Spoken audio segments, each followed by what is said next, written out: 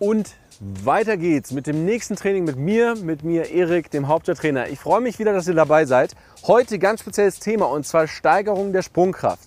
Steigerung der Sprungkraft. Heute zeige ich euch das, wie man es wirklich tatsächlich nur mit dem eigenen Körpergewicht macht. Ähm, dazu, im Idealfall geht ihr raus, damit habt ihr ein bisschen mehr Ruhe. Wenn nicht, braucht ihr ungefähr eine Box, die ungefähr in der Höhe eurer Knie ist. Ähm, oder ihr schnappt euch halt, wie gesagt, eine Bank oder zu Hause, ähm, wenn ihr nichts kaputt macht, auch gerne mal vom Stuhl runter, aber aufpassen, dass der Stuhl feststeht. Das Allerwichtigste erstmal, gerade wenn ihr eure Sprungkraft steigern wollt, ist, dass ihr euch natürlich ordentlich warm macht und dass ihr auch gerade schon mal in, der, ähm, in eurem zentralen Nervensystem sozusagen ein paar Bereiche aktiviert, die sagen, okay, let's go, jetzt will ich so hoch springen wie möglich. Als erstes beginnt ihr zum Beispiel mit einem ganz klassischen Squat. Fersen sind am Boden, Arme sind gerade, der Rücken ist so gerade wie möglich. Von da aus hochkommen, Po fest anspannen. Geht langsam in die Position, bapp, schnell nach oben. Schon mal ein bisschen mehr die Aktivierung mit einbauen und sozusagen die ähm, Streckerkette aktivieren, damit ihr dann schneller nach oben springen könnt. Nochmal das gleiche, langsam tief, bapp, so schnell wie möglich hoch. Als nächstes probieren wir einen Sprung. Das bedeutet, ihr geht langsam in die Bewegung, der Rücken ist so gerade wie möglich, ihr geht so tief wie ihr könnt, bapp. Sprung nach oben, kurz wieder auf der Position halten. Dann wieder hochgehen. Wieder das gleiche. Ready? In die Position, Bauch ist fest, Rücken ist gerade, Jump nach oben. Wichtig ist für euch, wenn ihr in, in, der Kniebeuge seid, beziehungsweise auch in einem Sprung, eure Knie dürfen nicht zusammengehen, sondern werden immer nach außen aktiviert, um eure Gesäßmuskulatur zu kräftigen. Viele von euch kennen ja den ähm, Boxjump.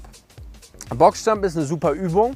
Oftmals wird er aber falsch durchgeführt. Das heißt, am Ende der Bewegung gibt es meistens keine Hüftstreckung. Damit ist die Bewegung eigentlich ungültig. Folgendermaßen, ihr stellt euch vor die Box, der Oberkörper ist gerade, ladet hier jetzt sozusagen die Spannung auf, geht in die Position und versucht so hoch zu springen, die, die Boxenhöhe so einzustellen, dass ihr gestreckt, quasi also in einer leichten Beuge, aber dann gestreckt landet. Wir machen es nochmal. Runter steppen, nicht runter springen. Wieder auf der Position, Rücken ist gerade, Spannung aufladen, bap. Wieder oben rauf, gerade gestreckt nach oben. Wie gesagt, für euch, wenn die Box jetzt auch zu hoch ist, ist es natürlich auch okay. Hier hin, gebeugt, bisschen die Bewegung abfedern, Po anspannen, Rücken gerade lassen, von da aus langsam wieder runter.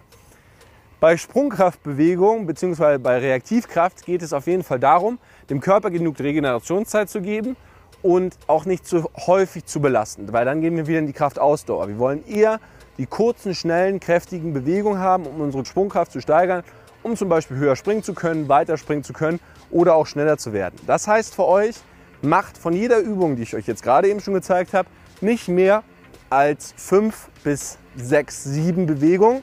Macht danach wieder eine große Pause und versucht dann wieder die maximale Kraft in diese Bewegung einzubauen.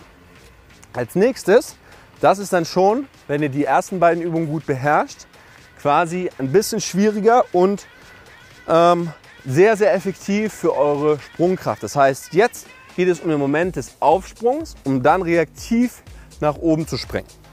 Ihr lasst ein Bein nach vorne, lasst euch hier langsam runter und springt dann zweimal nach oben ab. Die ganze Geschichte ist natürlich etwas schwieriger, wenn man zweimal macht. Man kann das ganze Ding natürlich auch einmal machen. Heißt, eines der beiden Beine nach vorne, Rücken ist gerade, Bauch ist fest, runter, bap. So hoch wie möglich abspringen. Königsdisziplin von dieser ganzen Sache ist, wenn ihr noch ein aktives Beinheben mit einbaut. Das heißt, ihr seid hier auf der Position, lasst euch runter, bapp, Knie hochziehen, so weit wie möglich nach oben abspringen. Bevor ihr diese Sachen macht, macht erst die Kniebeugen, erst natürlich etwas langsamer, um euch vorzumobilisieren, dann mit den Sprüngen, dann die Boxjumps und erst am Ende diese reaktiven Sprünge von der Box bzw. von der Bank, damit ihr euch nicht verletzt. Gebt euch genug Platz dazwischen, genug Pause dazwischen, damit ihr regenerieren könnt und eure Muskulatur bzw. auch euer zentrales Nervensystem immer wieder ready ist für die nächste Belastung. Nicht häufiger machen als zweimal die Woche und dann sollte eure Sprungkraft auf jeden Fall um einiges explosiver sein. Viel Spaß dabei!